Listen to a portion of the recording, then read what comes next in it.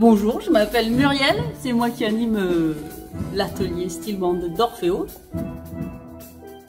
Le steel drum, euh, c'est un baril de pétrole euh, à la base qui a été accordé, façonné avec des marteaux chauds, voilà. Et dans chaque baril, il y a des petites notes.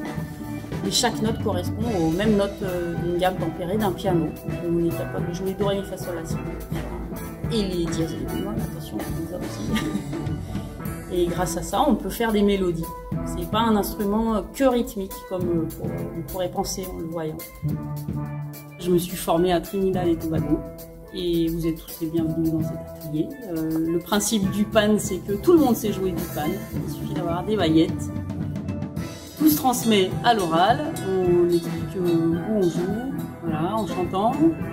Et on répète, on répète, on répète, jusqu'à ce qu'on sache bien son morceau. Et après, on fait un morceau, et puis un autre, et puis du répertoire. Et voilà. Donc, euh, soyez les bienvenus dans mon atelier.